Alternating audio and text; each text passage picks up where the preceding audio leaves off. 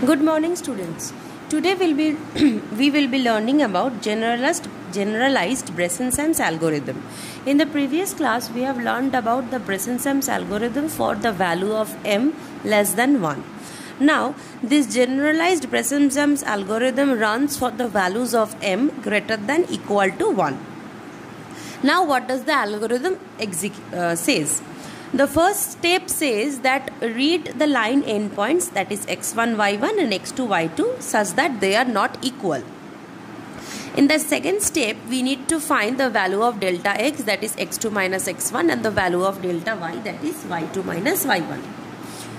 In the next step, in the third step, we need to initialize the starting point. That is, our starting point will be x1, y1 only, just like the previous case. So, we will initialize the starting point that is our starting point that is x will be x1 and y will be y1 so we will be start we will be starting plotting from the start point. Then there is a new variable s1 and s2 in the fourth step. s1 means the sign of x2 minus x, x1 and s2 means the sign of y2 minus y1 this sign means if it, it, if it is positive, it will be plus 1. If it is negative, it will be minus 1. Now, in the fifth step, we are checking if the value of delta y is greater than delta x. If the value of delta y is greater than delta x, then we need to exchange the values of delta x and delta y if delta y is greater than delta x then we need to exchange the values of delta x and delta y and we will set the exchange variable as 1 that is exchange has happened to indicate that exchange has happened. Else if delta y value is less than delta 6 then we need we need not exchange the values of delta x and delta y and so our exchange variable will be 0 now in the sixth step we start with the decision parameter now I have named this decision parameter as E. In the previous algorithm I have named it as P. So it doesn't matter which uh, variable you are using to indicate the decision parameter. It can be A B C D anything if you like. So the decision parameters value is 2 into delta y minus delta x. Now we will start plotting and in order to plot in the first step we need to set the i counter as 1 just like the previous case. Then first we will plot x and y. So first x and y holds the value of the first point only x1 y1 so first at the 8th step we will plot x and y. That is we will plot the first point x1 y1 now from 9th step onward we will consider a loop. Now what did the loop ch check in the previous algorithm also we were computing something based on the value of the decision parameter p. If the decision value parameter have a value greater than or equal to 0 we were computing something. And if it has the value lesser than 0 we were computing something. Similarly in this case also we will be computing something based on the value of the decision parameter e. Now while e is greater than equal to 0 we will entry into the loop. After entering into the loop, if we see that our exchange variable has the value of 1, then we will increment x by the sign of x2 minus x1. Now always remember if it is positive it will be plus 1 and if it is negative it will be minus 1. So by default we will increment x by x plus 1 right if it if s1 is 1 then plus 1 if s1 is minus then minus 1 so we will increment x by s1 else if exchange value is 0 then we will not increment x x will remain as it is but y will be incremented by s2 and in any of the cases after doing this we need to change the new value of decision parameter. So my updated decision parameter will be E minus 2 into del x. So what did we see? We saw that if our in this step if the value of the decision parameter is something greater or equal to 0 we will enter into the loop and we will check the in fifth step what is our exchange value. If our exchange value is 1 then we will increment x by 1 and y will remain as it is. But if our exchange value is 0 we will increment y by 1 but x will remain as it is. And in any of the cases after doing this the value of e will be updated to e minus 2 del x. Now this loop will be repeated while e is greater than equal to 0. Now after this step we will go to step number 10. Now step number 10 says that if exchange value is 1 then we will update the value of y as y plus s2 else exchange value is 0 we will update the value of x as x plus s1 now see one thing very carefully that in this step we only incremented x. Y was not incremented in this step or here we incremented y. X was not increment x was not touched. So in this step depending on the value of exchange that is 1 or 0 these two things will be done. Now after doing this again we need to update the value of e. Now the value of e will be the old e plus 2 into del y. Now this step will go on repeating and in the meantime each time we will be doing this we will increment i by 1 see i equal to i plus 1 now how many times this i will be repeated or this whole procedure from 8 to uh, uh, step 10 will be repeated? This will be going on repeating till i is lesser than equal to del x. If i is lesser than equal to del x go to step number 8 so 8 to 11 will go on repeating this 8 to 11 steps that is 8 step 9 step 10 step and 11 step this fourth step will be go on repeating till i's value is lesser than equal to del x. And after these all 13 steps says stop. So this is all about the generalized Bresenham's line drawing algorithm for the value of m greater or equal to 1. Now we will be taking one example and we will be solving that example using this algorithm so that we can understand how this algorithm procedure works in a better fashion. Now we will be taking one example and solving this generalized presence, uh, this uh, example using the generalized line drawing algorithm. Now a sum is given that consider a line between 0, 0 and 6, 7 and using this algorithm plot the various points. Now from this uh, uh, sum what do we get the values? Our x1 y1 is 0 0 and our x2 y2 is 6 and 7 and between these two points we need to plot the various points. Now xy y1 is 0 0 and x2 y2 is 6 7 so what is our del x? Our del x is x2 minus x1 that is 6 minus 0 6 and our del y is y2 minus y1 that is 7 minus 0 7 now uh, in uh, step number 1 it says read the line endpoints x1 y1 x2 y2 which we have done. In step number 2 it says that compute the value of del x and del y which we have done in these two steps. Now after doing this we first need to check whether generalized Bresenham's line drawing algorithm can be executed on this one or not. So we first uh, saw that m value of m is 716 which is greater than 1. So we can conclude that yes, this algorithm can be executed on this pair of points. Now in uh, step number 3 it says initialize the starting point x as x1 and y as y1. So we have initialized the starting points our x1 y1 was 0 0 so our x is 0 and our y is 0 that is x is x1 and y is y1 then it is said that uh, in step number 4 s1 will be the sign of x2 minus x1 now x2 minus x1 is 6 6 means plus 6 so plus means positive. So s1 will be plus 1 and similarly y2 minus y1 is 7 7 is positive. Positive means plus 1 so s2 means plus 1 now in fifth step it says we need to check whether the value of del y is greater than del x we have seen that yes the value of del y in our sum is greater than del x that is 7 is greater than 6 which is true. Now if it is true we need to exchange the values of del x and del y. Now previously our del x value was 6 and del y value was 7 so now it will be swapped. So now our del x value will be 7 and del y value will be 6 and from now on any where we will be use if we use these values of del x and del y we will be using the updated values only and not the values in the first step.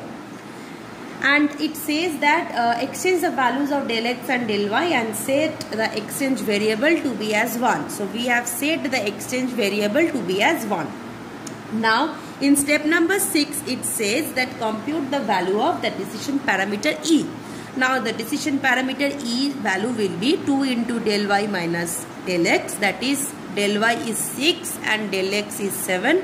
So 2 into 6 minus 7 that is 5. Now E's decisions parameters value is 5. Now in step number 7 it says i equal to 1. So we will start from the value of i equal to 1. Now it says plot x and y. So first our x and y is what? This is our x and y so we will plot x and y that is plot 0 and 0.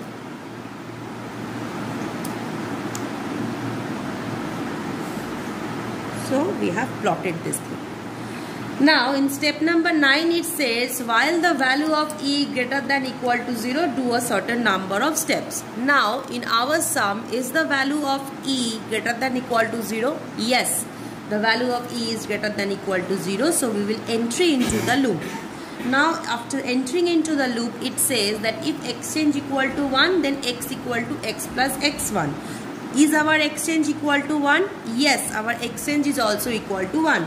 So if exchange equal to 1 then x equal to x plus s1 and what is our s1 our s1 is plus 1 and our s2 is plus 1 also so our x will be the previous x plus 1 that is 1 right and the else line we, we won't be entering and uh, the next line it says that e equal to e minus 2 del x. So e will be e minus 2 into del x which is equal to the previous e that is 5 minus 2 into 7 that is 14. Now 5 minus 14 is minus 9 Fine. Now, step 10 says that if exchange equal to 1, then y equal to y plus s2. Yes, our exchange equal to 1.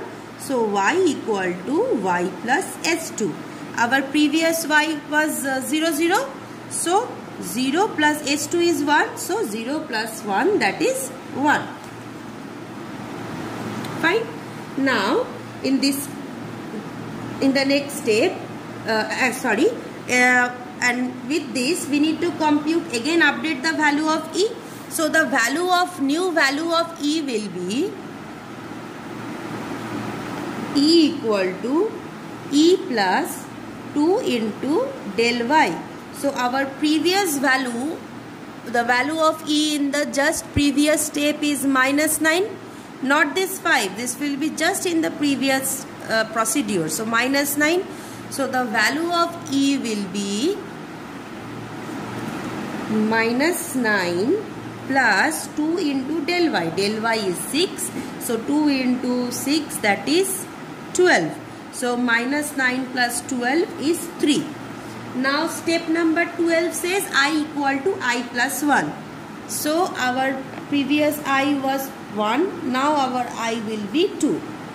Now if i equal to i plus 1 the next step says step 12 if i is lesser than equal to x go to step number 8 that is go to plotting we will check our del x is 7 right so 2 is less than 7 yes 2 is less than 7 so we will be again going to start from plotting now we will plot the values of x and y so what are the values of x and y in this step? The value of x is 1 and the value of y is also 1 in this step. So we will be plotting the value of x and y. So plot 1 and 1. Sorry.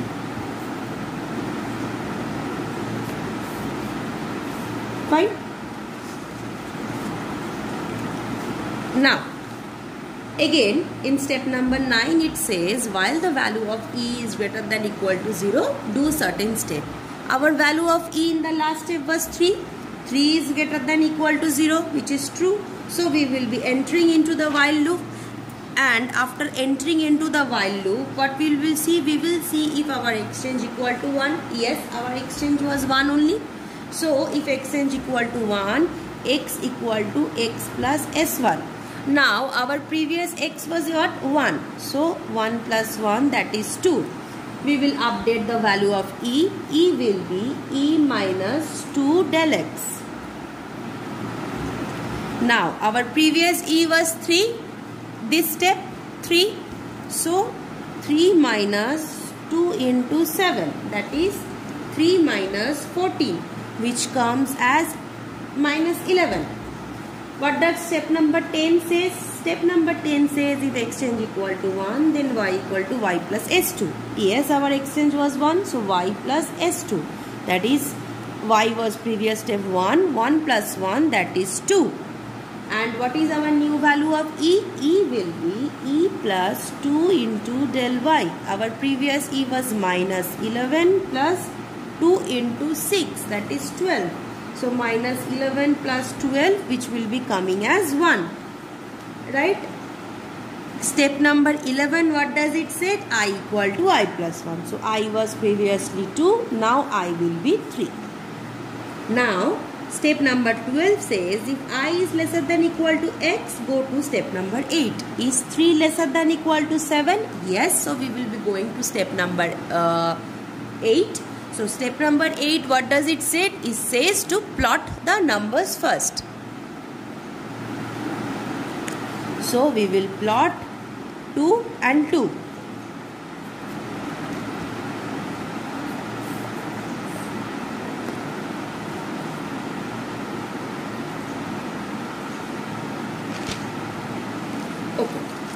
now what does it say?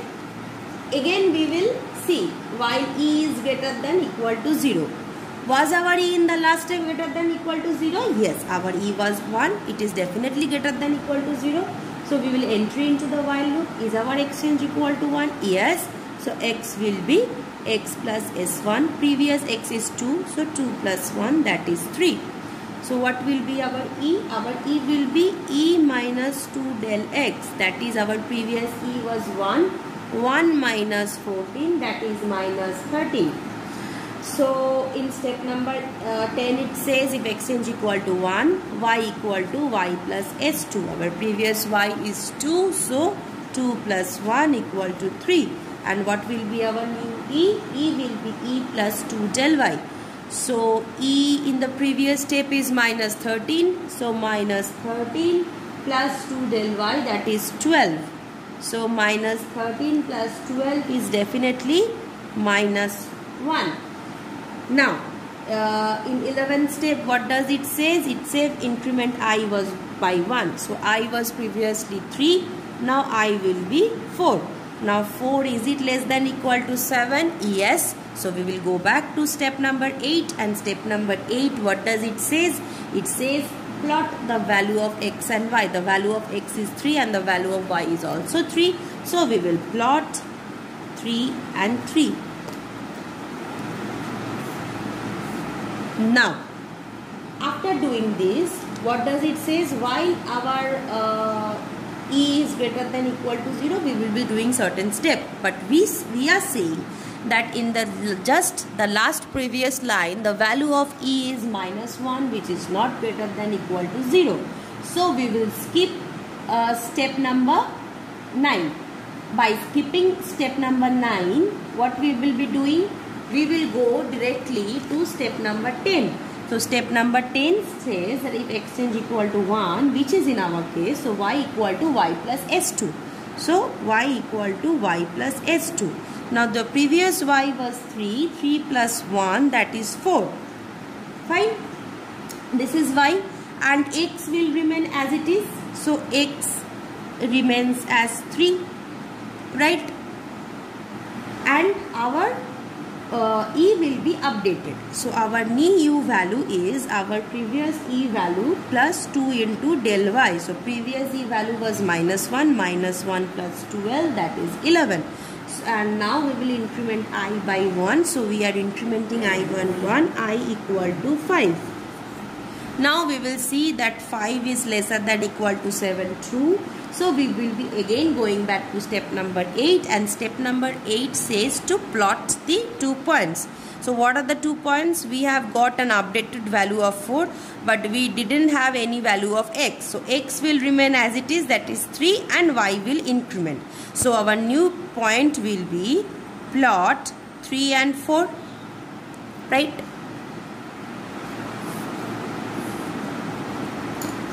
now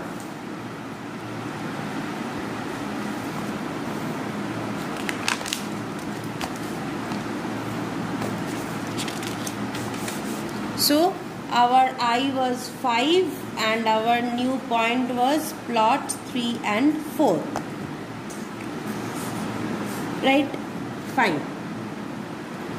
And our previous e value was 11 right?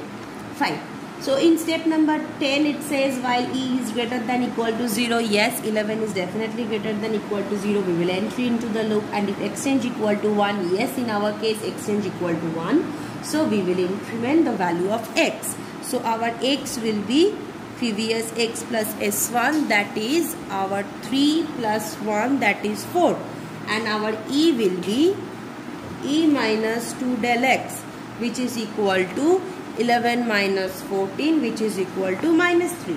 In step number 10 it says if x is equal to 1 y equal to y plus s2. Our previous y was 4 4 plus 1 equal to 5 and our new e value will be minus 3 plus 12 that is 9. Fine uh, in step number 11 it says i equal to i plus 1 so i will be 6 i is 6 6 is lesser than equal to 7 yes. So we will go back to step number 8 that is we will continuing with the loop. So in step number 8 it says plot x and y. X is 4 and y is 5 so we will plot 4 and 5 fine?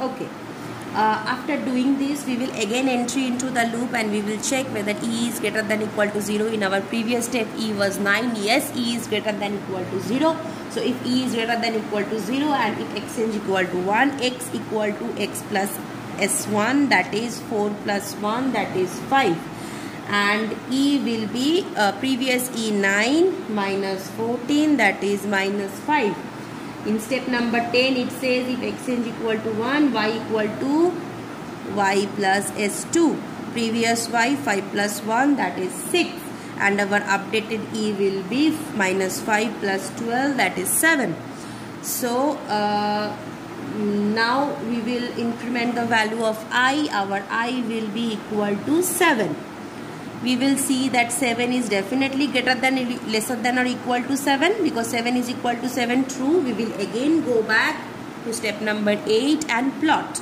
By plotting we will plot the values uh, x and y. So 5 and 6 we will plot 5 and 6 after doing this we will enter into the loop. After entering uh, what do we see? We see our e value in the previous step is greater uh, 7 which is greater than 0 so we will enter into the loop and we will uh, increment the value of x. X will be our previous x plus s1 that is 6 and our updated e value will be 7 minus 14 that is minus 7 in step number 10 it says that if exchange equal to 1 y will be our previous y value plus uh, plus 1 that plus S, s2 that is 1 in this case.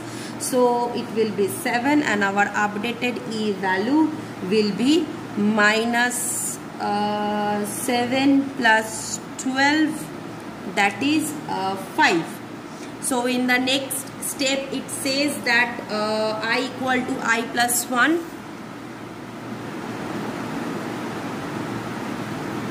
so our i equal to i plus 1 so our i will be 7 plus 1 that is 8 and in the next step it says that if i is lesser than equal to 7 so 8 is lesser than equal to 7 no? So we will come out of this uh, total procedure. Entire i loop and we will stop so before stopping we also so here uh, the procedure ends and we need to stop. So in the just previous step we got another pair of values of x and y that is 6 and 7 so we will plot these two points 6 and 7 as well.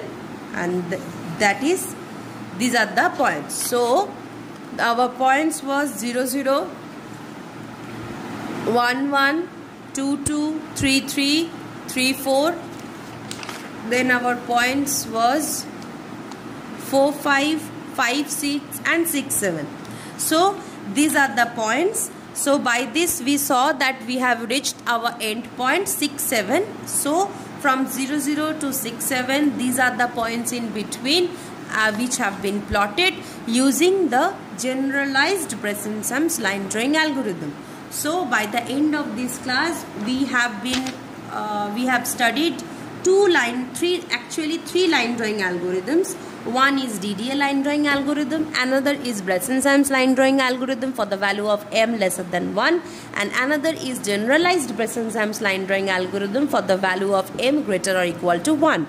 So with this the line drawing algorithms ends and in the next class onwards we will be studying circle drawing algorithms. Thank you.